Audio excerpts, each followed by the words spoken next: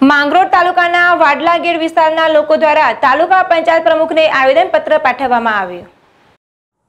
સરકાર દ્વારા પાક ધોવાણ માટે કૃષિ પેકેજ જાહેર કરવામાં આવ્યું છે, જેમાં માંગરોળ તાલુકાના સોર ગામોનો સમાવેશ કરવામાં આવ્યો છે, જ્યારે અન્ય ગામોમાં નુકસાન હોવા છતાં પણ સર્વેમાં સમાવેશ કરવામાં આવ્યો નથી.